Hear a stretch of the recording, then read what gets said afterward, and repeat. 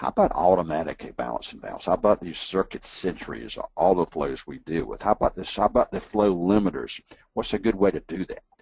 Now, the whole concept of a flow limiter is we have a spring-loaded device that we can flow water through, and it will change the orifice size based on the differential pressure going through it. Now, as we change the orifice size going through these devices, you see the little input there, we can guarantee you plus or minus 5% accuracy on these things for whatever GPM you buy them for, whatever you got them set on. So within the range of minimum pressure required, and that's the thing you need to understand, there's a spring in these things, all of them, whatever brand you buy. There's some minimum differential pressure uh, required across that spring to make it start working. If you don't have that minimum differential pressure to make the spring start moving back and forth, it's not doing anything. It can't. It's just an inert piece of pipe. So you can buy different ranges. Let's just assume we got the one on the chart here that needs two pounds of differential minimum, about what, 2.31 feet a pound, say five feet, two pounds of five feet. We need that much pressure drop across this flow limiter to make it work. If it's less than that, it's not working. If it's more than two pounds, that's okay up to what? Up to 32 pounds of drop. So the one we just looked at, the minimum pressure to make it work is 2 pounds or 5 feet. The max is 32 pounds. So anywhere between 2 pounds and 32 pounds, this device is going to give you a set GPM of what you buy it for, what you set it on if it's a manual adjustable. And it's going to hold that within plus or minus 5%. That's the flow limiter. Some people call them automatic balancing devices. I prefer to call them flow limiters because they only work within that pressure range, which is a good range. But you got to understand you need that two pounds to make it work.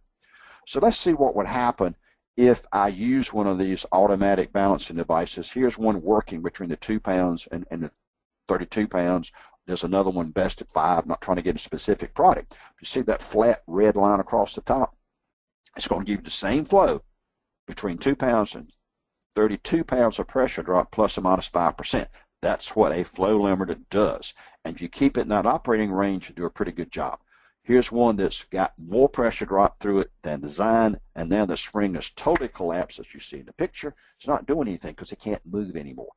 Very unusual to get one at that kind of situation because that's a lot of pressure drop. But just realize if you went beyond the allowable pressure drop, that's what would happen. It would also be singing to you, be pretty noisy. So let's go back to our system for 1500 GPM, 70 feet ahead. Let's put in automatic balancing devices. Let's put in the automatic flow limiters. Let's just install some. So that's what I've done on the bottom. And what would you buy the flow limiters for? The little blue boxes at the bottom of the edge? You would buy them, or you, if you had a, circuit setter type of animal, you would set them for what? 500 GPM. So you set them for 500 GPM. Let's turn the pump on. I turn the pump on, and lo and behold, I've got 500 GPM to each zone. Wow, that's fantastic. All I did was turn the pump on, didn't do anything else because they've been purchased for 500 and they won't go beyond 500 as long as you're there. Now notice something. Notice something. Notice zone 3, which is still the critical circuit, is at uh, 16 feet of drop. Wow, okay. Uh, through the flow setter with all everything wide open. Th through the flow limiter, flow setter. Zone 2 is at what, 19 feet, and zone 4 is at 32 feet. My pump's at 1500 GPM, 70 feet ahead, exactly what you specified. So what's wrong with this? Is this proportioning balance? I got my proportions. 500, 500, 500, one third, one third, one third. I got design flow, 1570 feet. Can I improve this? Is anything wrong with this? And my question to you is, where's your critical circuit? It's Zone 3 again. And you got a divisor at 16 feet. What is the minimum pressure drop across zone 3's flow limiter to make it work? To make you give you 500 GPM. And the minimum is two pounds or five feet. Two pounds, five feet. In other words, I got 16 feet of pressure drop across the flow limit on zone three, and I only need what? Only need five to make it work. So I can improve the system dramatically by slowing the pump down and or trim the pump impeller, saving a lot of energy, and I can reduce the 16 feet on zone three down to the minimum I need to make it work properly, which is five. And it, what happens then? Let's just make sure you understand. What can we do to improve the system? There we go. I had dropped the 16 down to five.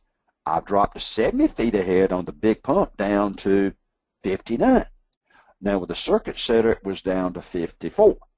Now what's the difference? The difference is I need that five feet of drop on an automatic flow limiter to make that spring move back and forth. I don't have a spring in the circuit setter. So I need a little more pressure drop here. But once I get that minimum five feet, I don't need any more than that. So proportioning balance can still be done with flow limiters. But what you've got to do is read the pressure drop across the critical circuit again. And you've got to slow the pump down and or trim the pump impeller until you're down to that minimum pressure required to make the flow limiter work on zone three of the critical circuit, which is five feet. Perfect. Well done. Now you know how to proportioning balance. And again, you need a balancing guy on a job with flow limiters to verify these flow limiters to make sure they're working.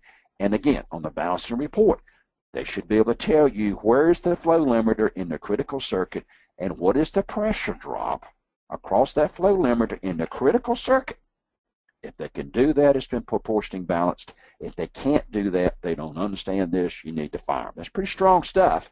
But if we're going to save the energy, let's be serious about it. We have to understand fundamentals of laws. We have to recognize a critical circuit. We want that to have the minimum pressure drop required, and that way we make everything more efficient.